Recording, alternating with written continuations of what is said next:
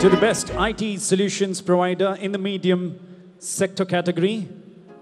The award goes out to Digifinite Solutions Private Limited. Best IT solution provider in the IT sector. Give me a.